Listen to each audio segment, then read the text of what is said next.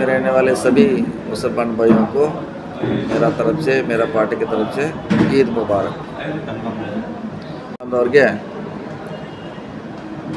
ವೈಯಕ್ತಿಕವಾಗಿ ಮತ್ತು ನಮ್ಮ ಕಾಂಗ್ರೆಸ್ ಪಕ್ಷದ ವತಿಯಿಂದ ಈದ್ ಮುಬಾರಕ್ ಶುಭಾಶಯಗಳನ್ನು ಸಲ್ಲಿಸ್ತೇನೆ ಓಕೆ आदाब। मैं जमील अहमद, ये प्राइम न्यूज़ इंडिया और संचार टाइम क्राइम न्यूज़ है।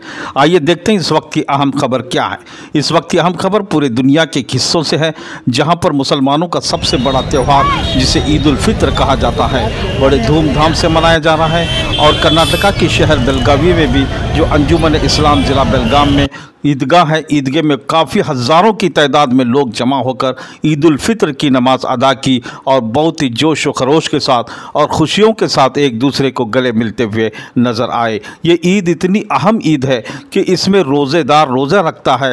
रोज़ा रखने के बाद तीस दिन होते हैं या ट्वेंटी नाइन डेज़ होने के बाद इस ईद उल को मनाया जाता है। ये ईद उल अल्लाह की तरफ़ से इनाम है, क्योंकि रोज़ेदारों को अल्लाह ने फरमाया कि मैं खुद उसका इनाम और उसका अजर दूँगा। इसलिए ईद उल खुशी का दिन है। नए नए कपड़े पहनकर बड़े, बुज़ुर्ग, नौजवान बच्चे ईदगाह में तशरीफ़ लाते हैं और ईद की नमाज़ अदा करते हैं और उसके बाद एक दूसरे से गले मिलकर ईद की मुबारकबाद पेश करते हैं। यही वो मोहब्बत का जज्बा है जो इंसानियत के लिए काफ़ी ज़रूरी है। जिस तरह के आज के माहौल में हमने देखा, धर्म के नाम पर नफ़रत पैदा करने की कोशिश की जाती है। आपस में एक दूसरे में नफ़रत पैदा कर कर राजनीतिक लोग जो हैं, ऐसे देश में नफ़रत और टुकड़े करने की कोशिश कर रहे हैं। हमें ये सबक उन्हें देना चाहिए, ये मैसेज उन्हें देना चाहिए कि ईदें जो है, एक दूसरे से मिलनसारी का नाम ईद है। एक दूसरे से गले लगाइए, एक दूसरे के सुख और दुख में काम आइए, एक दूसरे के तकलीफ़ का सहारा बनिए। इसी का नाम ईद है, इसी का नाम इंसानियत है। आपस में झगड़े, फसाद पैदा करके सियासत करने वाला सबसे बड़ा शैतान होता है। इसको इंसानियत का नाम भी नहीं दिया जा सकता।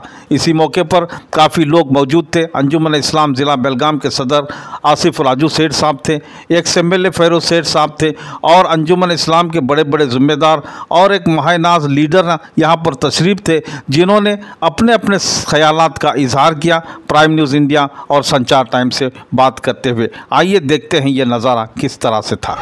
वालेकुम मैं Jamil Ahmed prime news India और संचार टाइम क्राइम न्यूज़ के खास बुलेटिन में। आज मुसलमानों की सबसे बड़ी ईद है जो पूरे दुनिया में मनाई जा चुकी है। बेलगाम में भी मनाई जाती है, जिसे ईद उल फित्र कहा जाता है। तीस रोज़े मुकम्मल होने के बाद लोगों ने ईद मनाई और हमारे अंजुमन इस्लाम ज़िला बेलगाम में लोगों की तादाद, आप देख सकते हैं, हज़ारों की तादाद में लोग हैं। और हमारे एमएलए कैंडिडेट जनाब आसिफ राजू सेठ साहब हमारे सबके सामने मौजूद है। मैं सब लोगों से अपील करता हूँ? कि ऐसे लीडर को चुना गया है? टिकट मिल चुकी है।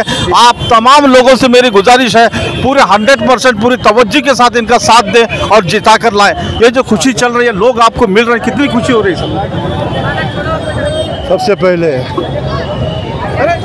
अंजुमन इस्लाम और मेरे पर्सनली हमारे फैमिली तरफ़ से पूरे शहर वासियों को बहुत बहुत ईद मुबारक।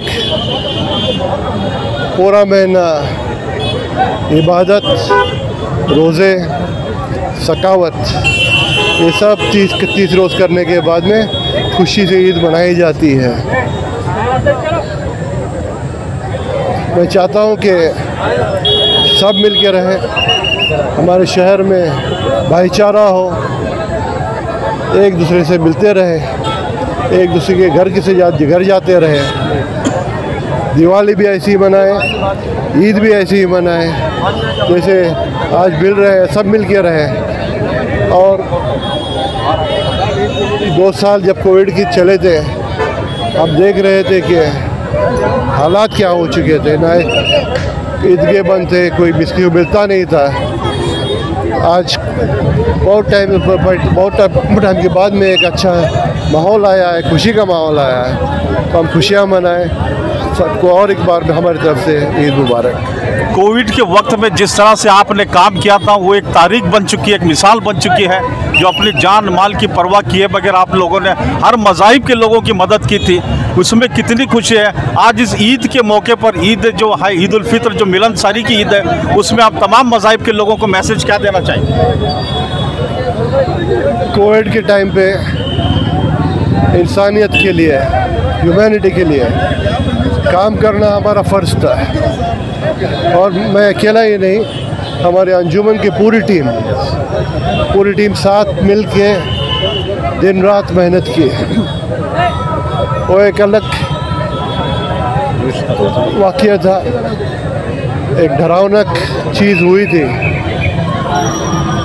और ऊपर वाले ने हमें एक मौका दिया कि हम लोगों की खिदमत कर सकें। हम जात पात ना देखते हुए,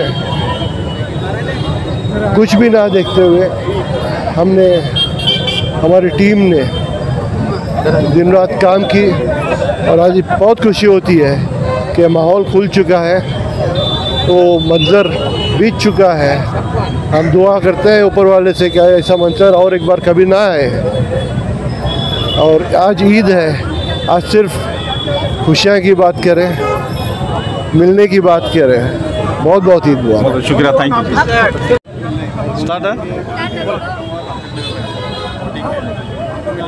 बेलगावी डिस्ट्रिक्ट के बहुत ही मशहूर शख्सियत, जिन्हें मेडिकल इंचार्ज भी कहा जाता है सोशल वर्कर है, जो हमेशा गरीबों की मिडिल क्लास की मेडिकल लाइन से खिदमत करते हैं और ये काफ़ी मशहूर है।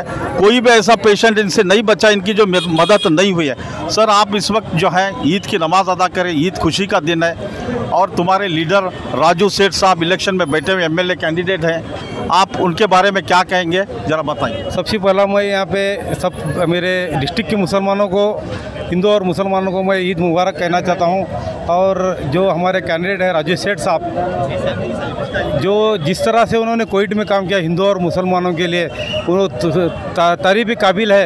ऐसे कैंडिडेट को अगर हम जिताएँगे तो हमारी खुश नसीबी है।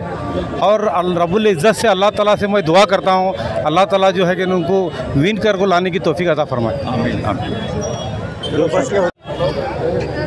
अंजुमन इस्लाम ज़िला बेलगाम के सेक्रेटरी और हमारे कारपोरेटर बहुत ही मशहूर शख्सियत हम इनसे पूछेंगे कि ईद कैसी लगी माशाल्लाह आज मजमू बहुत था जिस तरह से हम एक्सपेक्ट कर रहे थे ये मजमू उतना नहीं होगा धूप में लेकिन आज सब में ज़्यादा मजमू था और अंजुमन की तरफ से सबको ईद की मुबारकबाद पेश करता हूँ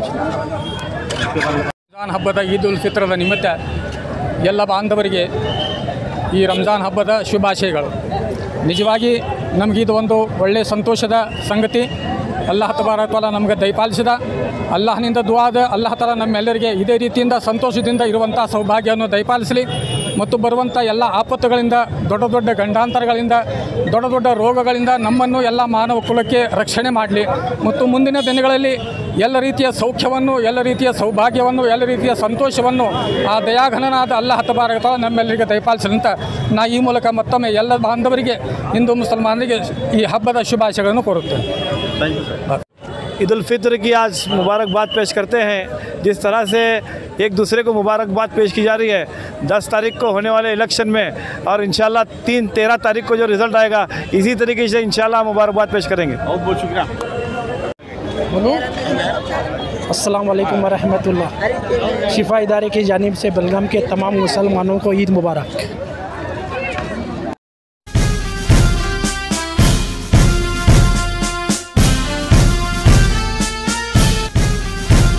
खबरों को प्राइम न्यूज़ इंडिया पर देखने के लिए चैनल को सब्सक्राइब कीजिए बेल आइकॉन को क्लिक कीजिए लाइक और शेयर करना न भूलिए